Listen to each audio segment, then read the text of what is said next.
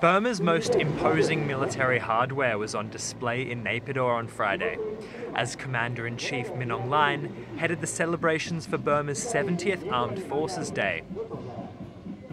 The annual parade marks the date in 1945 when Burma's newly formed army rose up against Japanese occupiers near the end of the Second World War.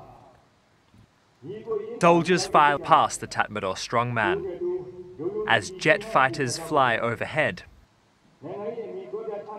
and troops drop out of helicopters.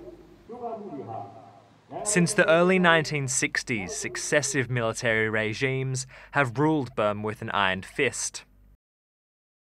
And the army continues to play a leading role in the country's politics. This year, Min Aung Hlaing pledged that the military would ensure free and fair general elections in November.